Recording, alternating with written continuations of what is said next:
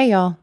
My name's Amanda. I am a very small, very new reseller, very new to YouTube, very new all around.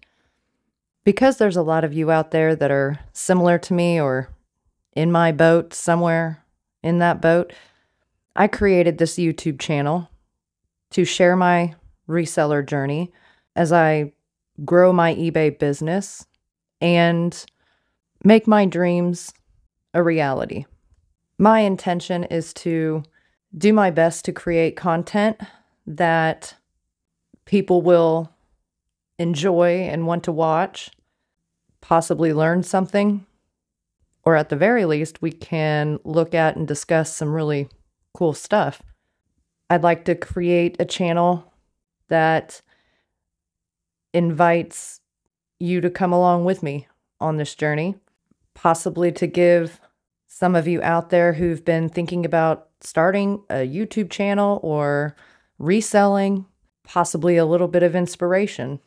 So, I suppose I'd like to start with explaining why I'm not creating your typical shop along videos, visiting the Goodwills or estate sales, garage sales, all those kinds of things. So I'd like to go over some of that while I pick out a few things to get cleaned up and photos taken and then listed on eBay.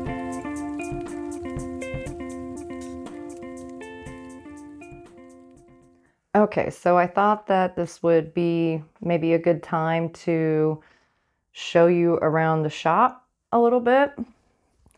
Uh, I'll do my best not to make you dizzy. Let's see, this is a fairly large assortment of artwork. There's everything there from prints and paintings and drawings and uh, antique ones, vintage ones. I have a lot of frames. This cool frame here.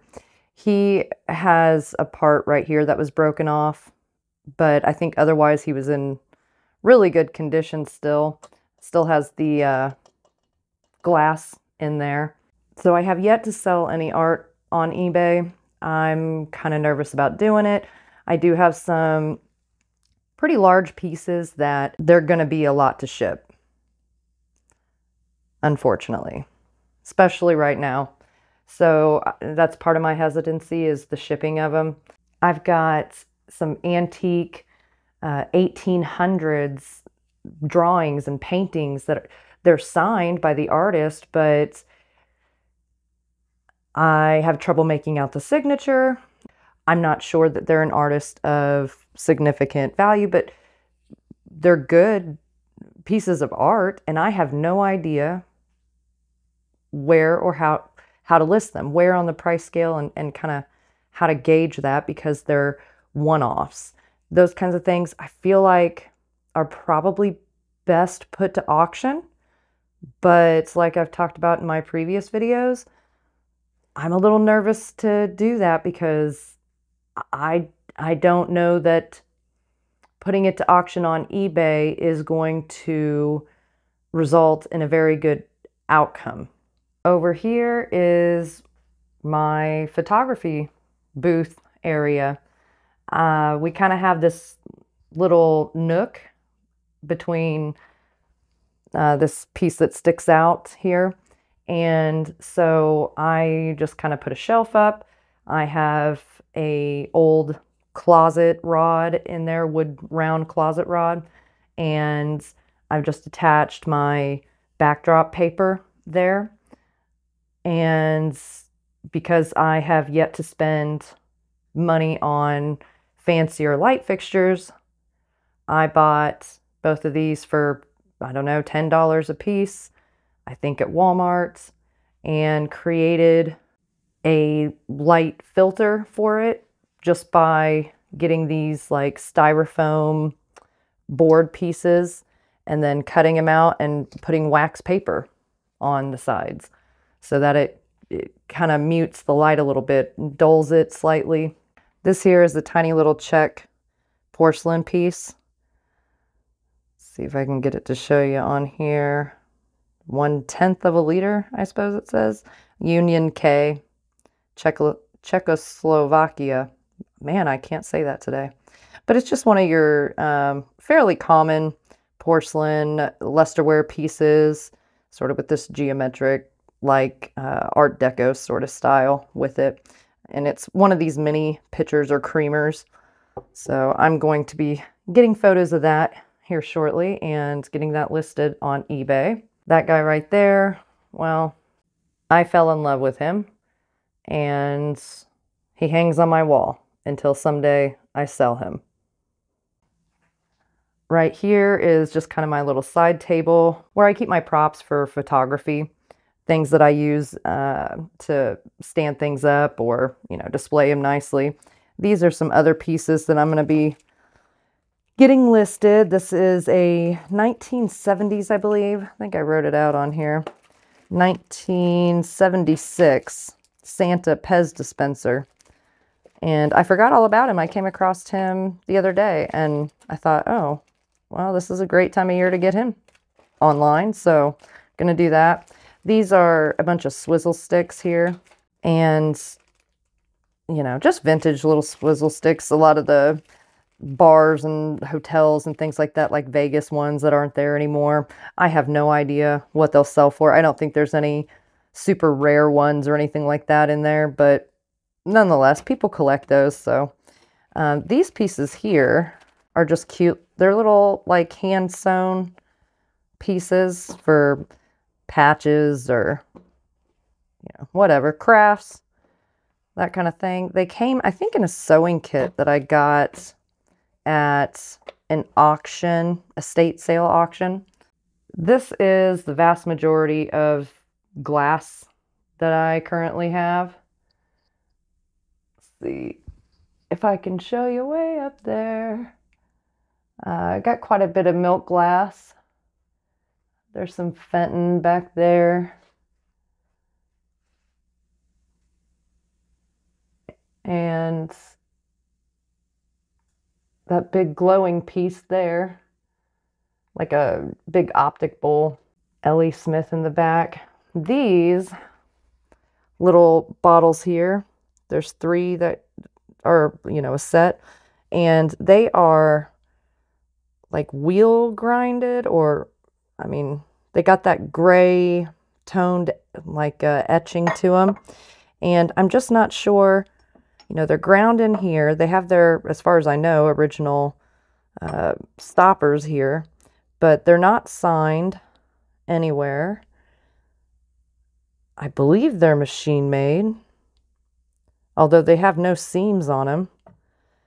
But I have no idea on those how old they truly are, if they're just meant to look really antique or or what. But um, I think this yellow one here is probably Czech. And just, I don't know, some different odd pieces. This one here is kind of different. It's sort of swung like style. It's got like that uh, oh, gold gilt on here. And the bottom of it goes down there. But again, no sign, no mark, no nothing. Got some bells like this cool air twist on this bell.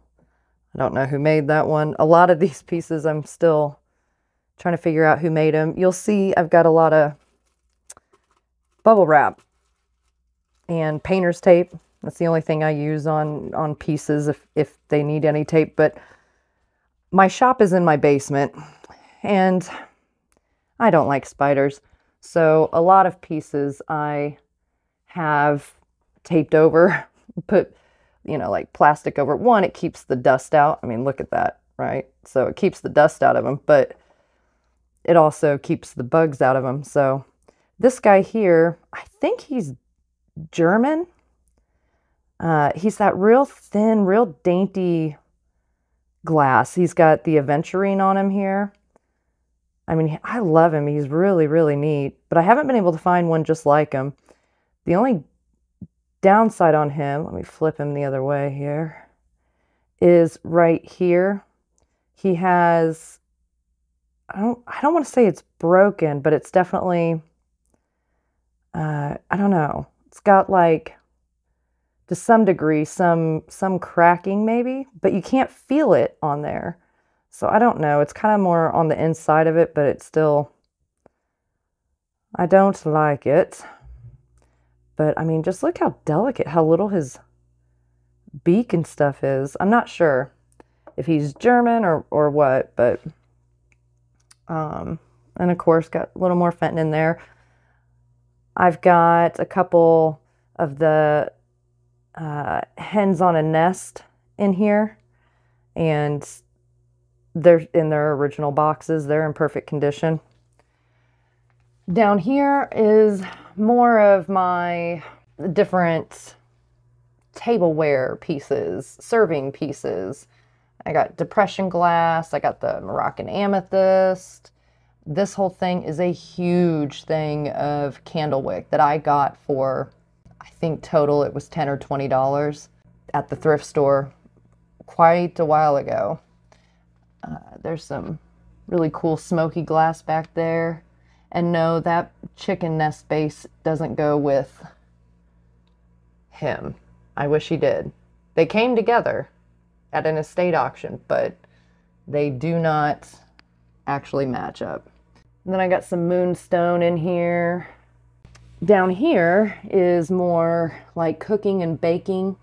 So all the different, you know, Fire King. Uh, I got some of the Fire King Philbe, different Pyrex pieces. Uh, this big adding machine, it came from my mom's uncle or great uncle. I don't remember which. And there's some of the original paper that went with it. He's pretty neat. I don't have the uh, key that goes to him. So I had come across a listing on Facebook Marketplace for all of this original sculpture artwork. And this piece here was one of them. And it does have some Japanese uh, inscription on the back. I have no clue what it says, but the lady that I bought them from was moving back to Japan, and she actually was a professor at Kansas uh, University, professor of art, and had studied under some pretty well known individuals. And maybe sometime I will make a video and kind of show that. It's rather impressive, and I'll show you some of the other pieces I got that uh, that I got from her. This here, this owl, he's maybe a foot and a half or so tall, maybe slightly more.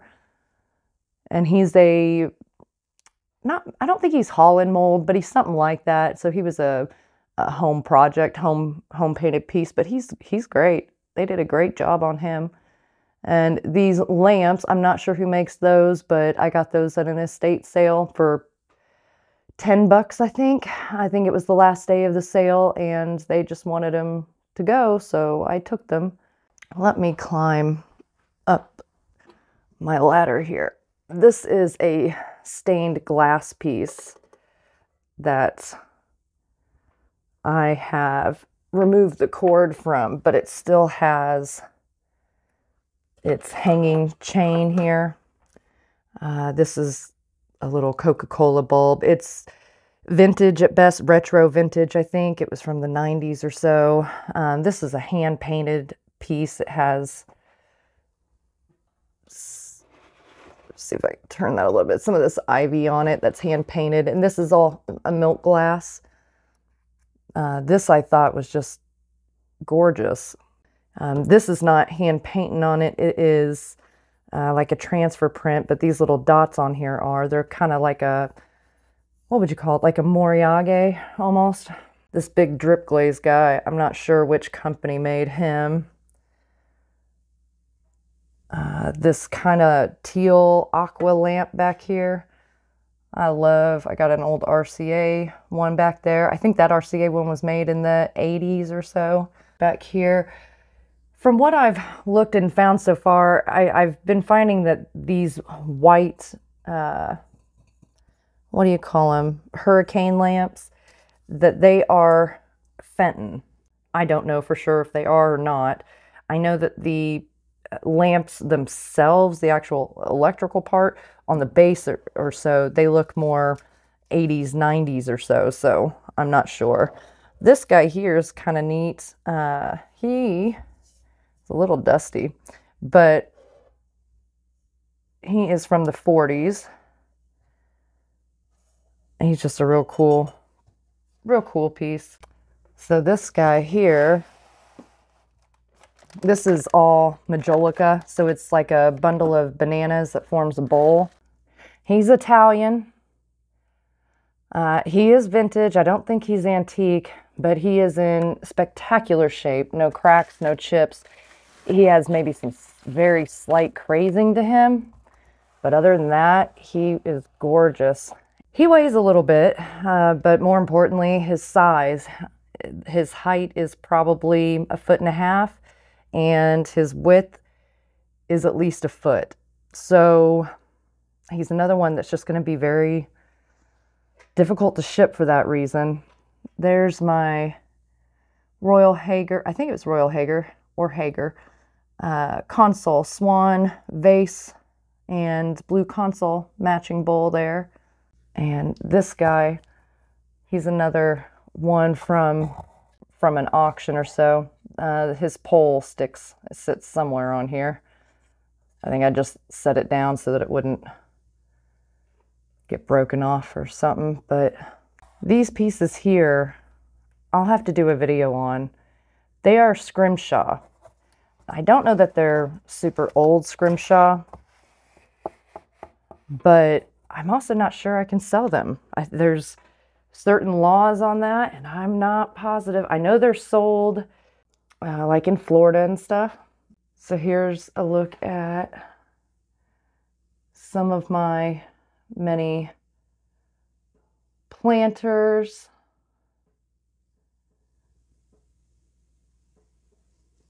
These are Czech wall pocket birds.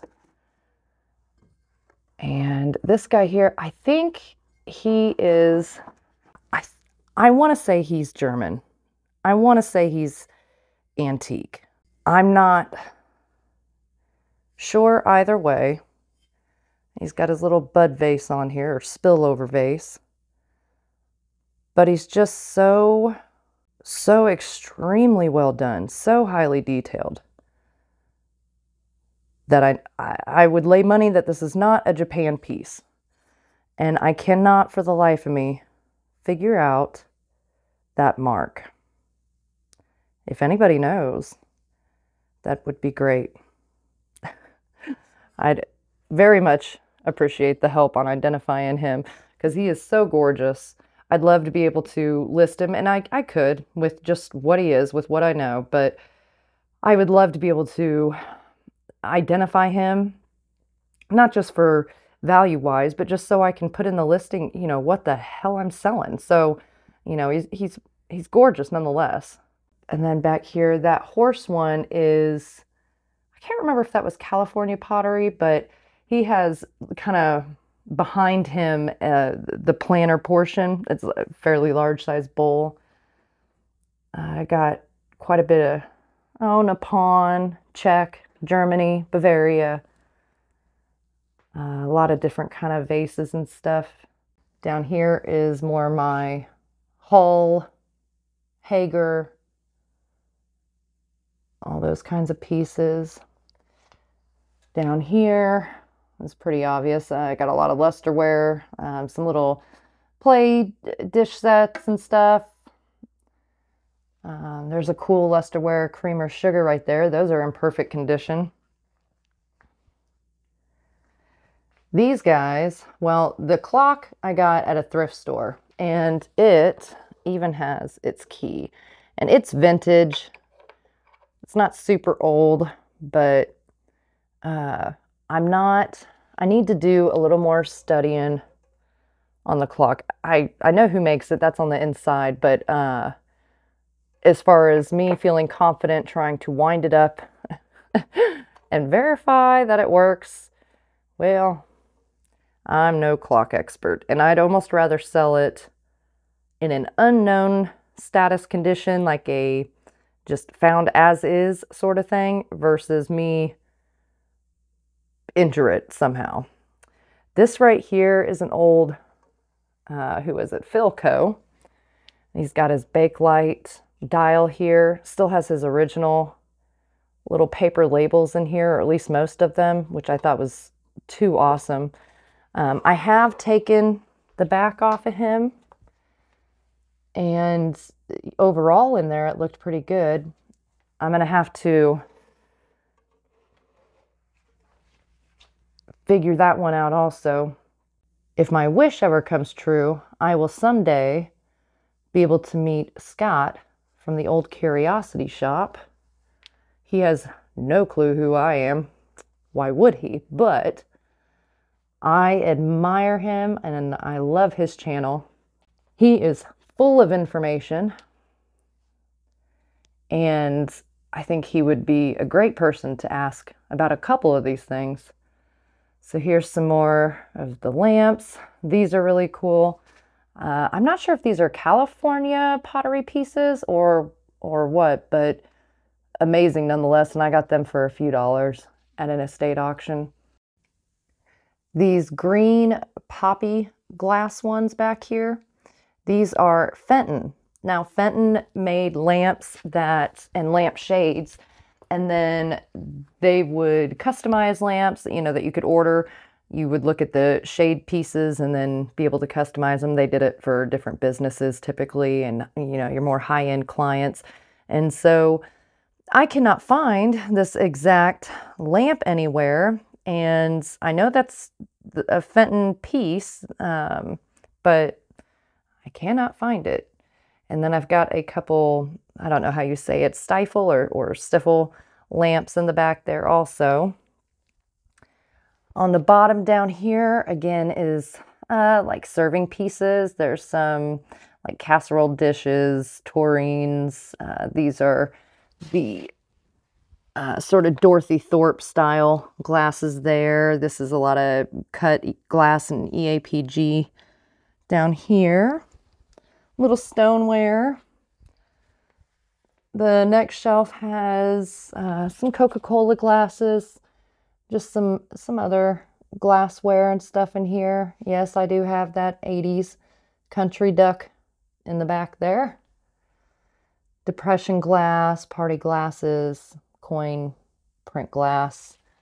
Uh, coffee mugs. I believe these guys here are Lefton. And based on that right there, either Lefton or, I don't know, Nippon, possibly. I'm not sure. I cannot find these cups anywhere. There's four total. They each have a different dog on them. And then there's one that has a flea bite. I think it was on the rim of the cup. So I think that's one where I'll still include it when I list it and just note that and kind of have it in there as uh, an extra or a piece for display, uh, something like that. Some different stoneware, McCoy. Um, this dragon looking guy in the back here, uh, I'm assuming this is Japanese possibly, but I'm not sure. And he's got his like mulberry on the back. He's glazed, 100% glazed on the inside and out. There's no markings on him. He's a little bit of a mystery. Um, I think these are German or Bavaria. I don't remember. I mean, either way, same thing, but some kind of artisan creamers. These are Otagiri. And actually, I think I'm going to get those listed. Okay, so these are, uh, what would you call that? Not a lava glaze, but I mean, they're speckled stoneware.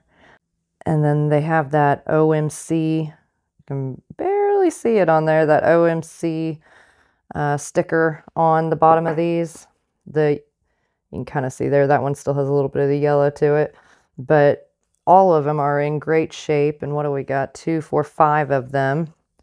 I wish there were six, but I'm not sure uh, that it came with six. I'd imagine it did. I don't know if you'd call those actually sake cups, but they're like small handleless teacups anyway. This chicken back here, he's glazed except for the uh, head and his little wattle thing here.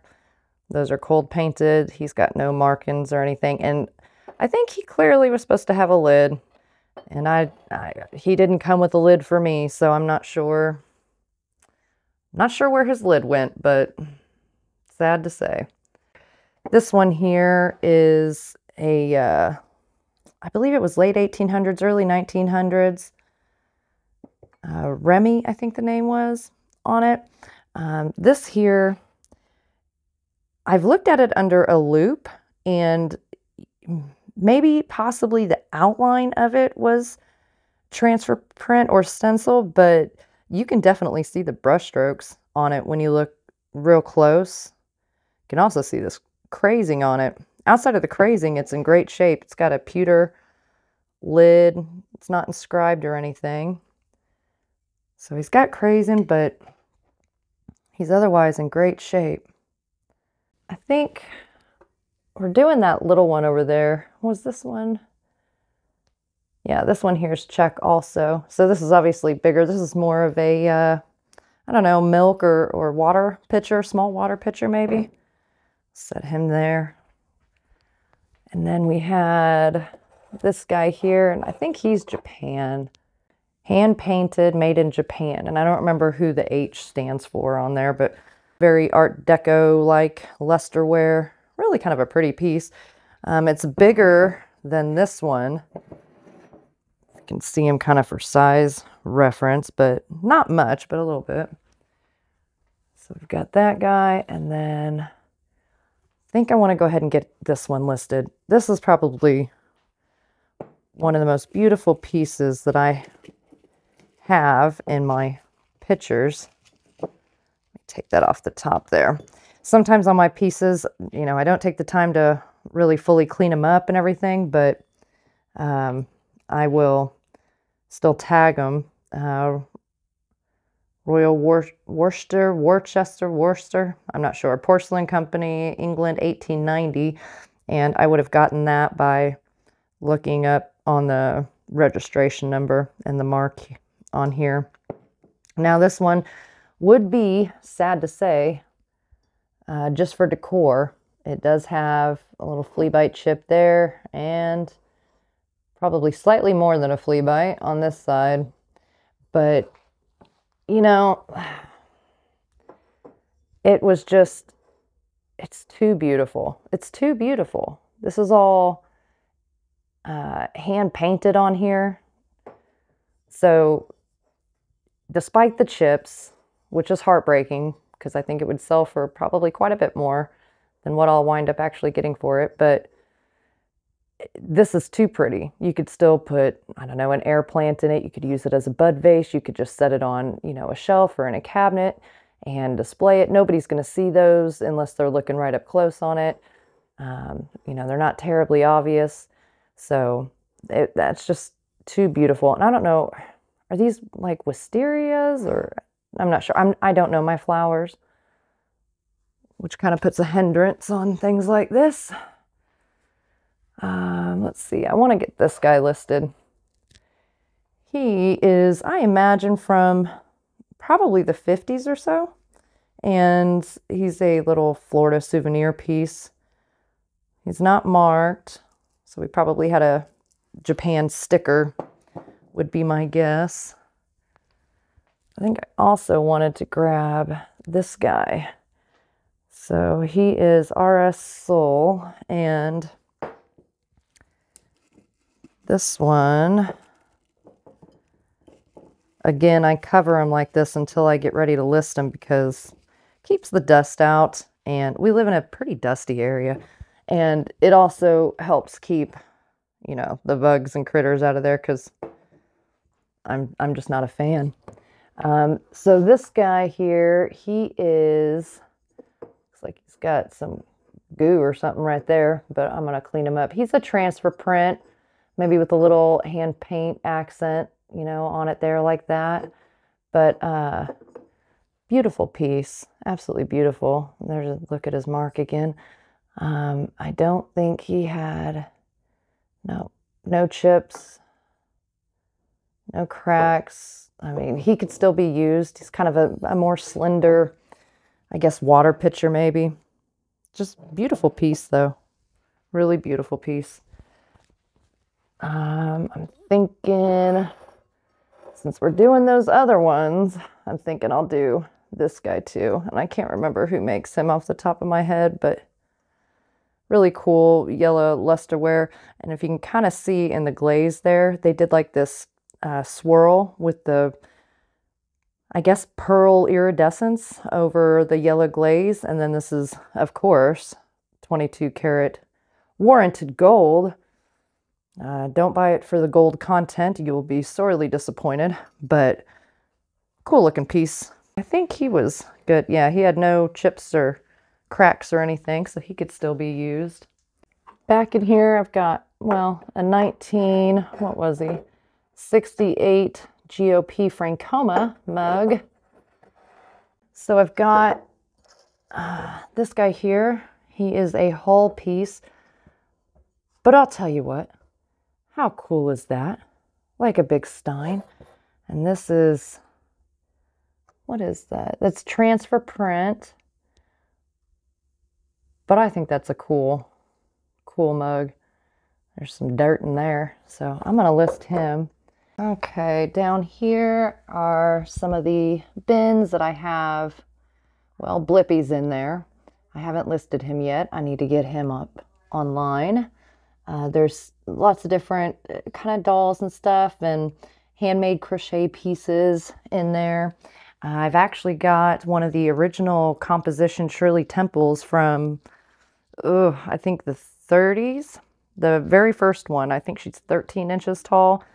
Her composition has some crazing to it. I want to say she has a finger or two broken off, but uh, she's otherwise still intact. She's missing her clothes, so she's not. She's definitely not going to sell for what she could, but you know she'll still sell.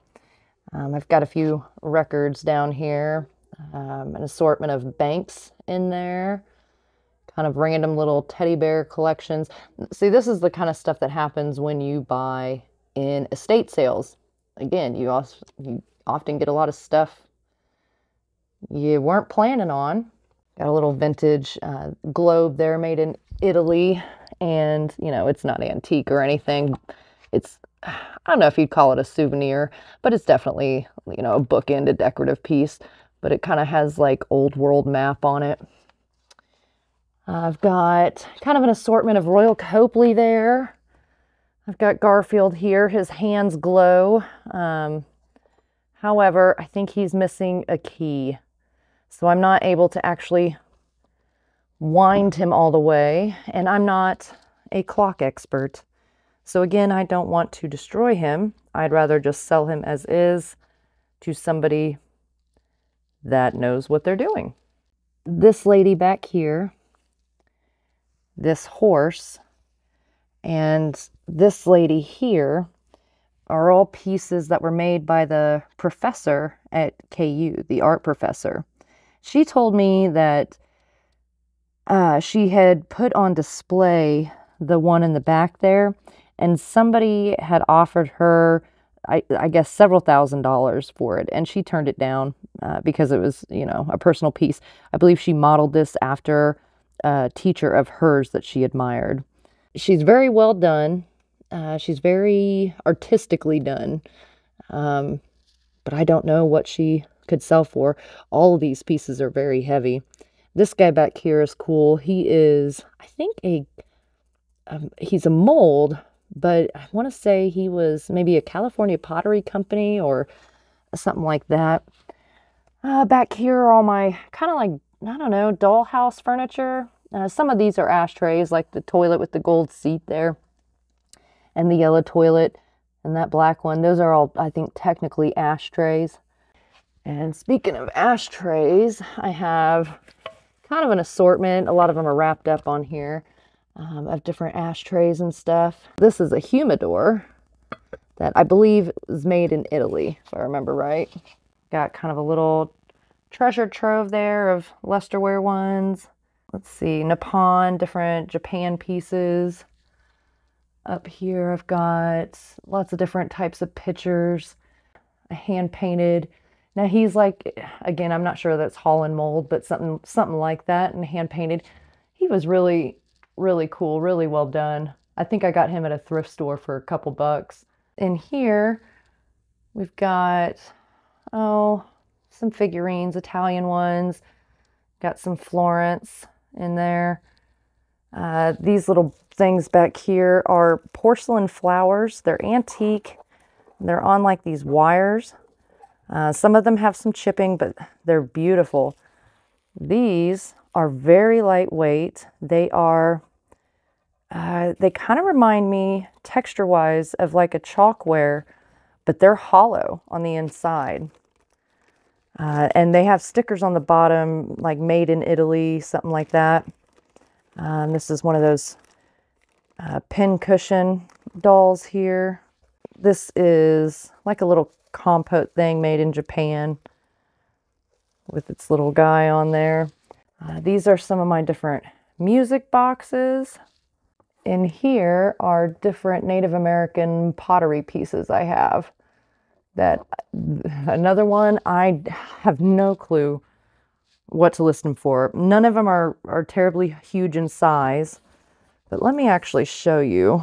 I'm not sure who made this. And originally had a piece of masking tape on the bottom that said very old. I imagine it is pretty old, but I'm not sure what it is. I think it's some kind of a scoop, maybe. Um, I'm not sure. Still really cool. It's definitely the larger piece that I have. Several of them are, you know, Acoma, Acoma ones. You know, here's like a wedding vase. Got this guy, Lula Young. Uh, my collection here of different, you know, porcelain dogs and, and stuff I think he's a California pottery one. They got their jeweled eyes. These are very dusty uh, black Goebel poodles. This uh, little terrier guy I bought, and I have a hard time selling him, I'll be honest. I'm not sure who makes them, but he's really well done and he's he's just stinking cute. And there's no, that's not Taco Bell Chihuahua. That's just just a really cool Chihuahua.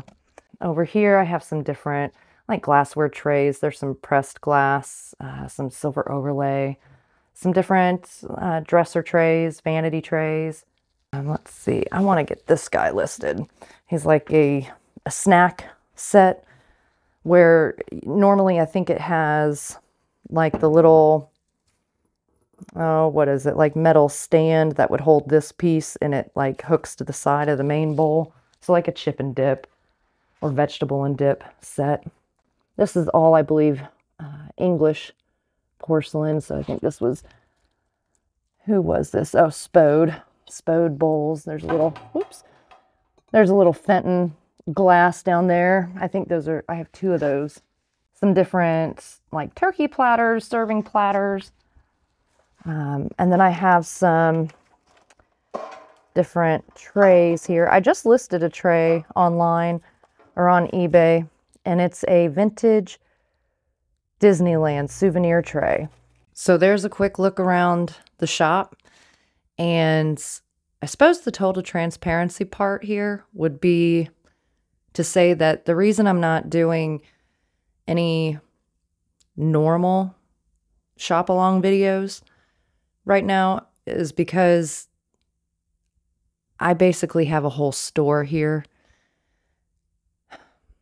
So my shop along videos for a little bit, at least, will be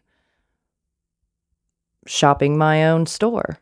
And while that may not be quite as entertaining, you guys don't know what all is there except for what I showed you just now. But I think it can still be pretty exciting. I think that people like shop along videos to be able to see what all is out there. Everything that I have here, I have accumulated mostly through estate sale auctions. Uh, there's quite a bit from thrift stores and stuff too. And I would just really like to work on getting a lot of this listed. When I first started this dream of becoming a, a reseller, putting my passion first and following that dream, life was a little bit different and I was still working full time. And a lot of things changed in 2020, specifically the end of 2020. And I was permanently laid off at that time. And for a good many reasons, dragged my feet on the follow through, actually getting it listed and stuff. There was personally just a lot going on uh, at that time. And I look back now and it disappoints me, but I also think things have to have to play out in in the way they're meant to play out sometimes. So again, I know that there's people out there similar to me who maybe have thought about starting a YouTube channel or becoming a reseller. And most of the resellers that I watch or that I follow, although I I I love them and that's why I follow them, but at the same time, they've been in the game for quite a while. They're they're on a different level than I am in a lot of ways. So, I think it's kind of I think it's a good thing to show like really from the bottom and to to see it climb climb up, to see it all pull together. And it won't happen overnight and it's a little bit scary, but I can tell you it's a lot scarier to think about not doing it. I'm going to plan on doing some shop along videos here in my store and I'll probably throw in some shop along out and about also going to, you know, different places and stuff, but probably won't purchase a whole lot unless it's actually worth purchasing. And that's got to be pretty a pretty outstanding thing for me to get to bring back and add add to what's going on here already. I hope that you guys will follow my journey throw criticism my way, throw support my way, but create the community that I know the reseller community is. I always look forward to making videos to put on YouTube, despite the fact that not too many people have seen many of them yet. I plan to continue making videos of just kind of what am I listing videos if and when I have more of a following, I'm more than happy to start doing sales directly through YouTube. I've actually applied to be a seller on Crazy Lamp Lady Jocelyn's new marketplace, Niknax, uh, which is hosted on district.net. Um, I do not know Jocelyn. She does not know me. This is not an intended plug for Jocelyn, but if you don't know about it, now you do. Um, I did apply to be a seller on on her marketplace, and she's got a lot of people that have requested to be a seller. So she's she's doing the best she can, I believe, to work her way through the couple thousand plus applicants, and hopefully soon I will hear back. But anyways, it was good hanging out with you guys. I feel better getting that all off my chest and explaining why I'm not doing the typical shop with me videos. I will be doing some, I just won't be doing a lot of purchasing for a while. But I enjoy spending time with you guys, and I'll see you on the next one.